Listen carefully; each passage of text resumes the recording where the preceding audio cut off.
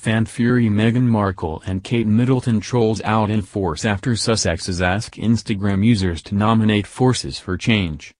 Supporters of the Kate Middleton and Prince William have trolled Meghan Markle and Prince Harry following the couple's recent Instagram post.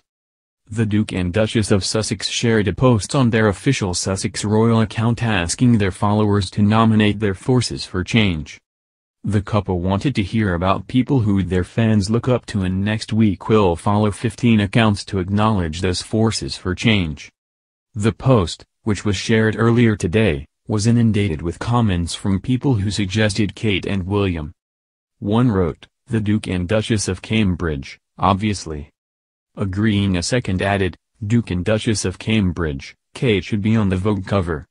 A third wrote, Her Royal Highness the Duchess of Cambridge. Several complained that comments nominating Kate and Wills were being deleted from the post. Fabulous Digital has contacted the palace for a comment. This is of course not the first time that the palace has dealt with trolls when it comes to the two duchesses. In March palace officials published rules for those posting or commenting on its social media channels in a bid to tackle hateful comments. The moves to block abusers and pursue the worst legally follow growing alarm at trolls targeting Kate and Meghan.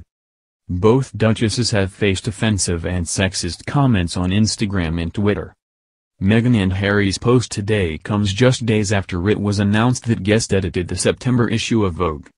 The Duchess of Sussex selected 15 women to star on the front cover, herself not included, that she admires and sees as a force for change, and today asked her followers to nominate theirs. Other popular nominees included Prince Harry's grandmother the Queen with many commenting to suggest the monarch Meanwhile many Russian users chose to nominate their hero hairstylist Sergei Zverev. In other royal news, we revealed how Meghan and Harry have ditched everyone they follow on Instagram, including Kate and Wills. We also revealed how the Duchess of Sussex made an awkward typo as she promoted the launch of her new clothing line on the Sussex Royal Instagram.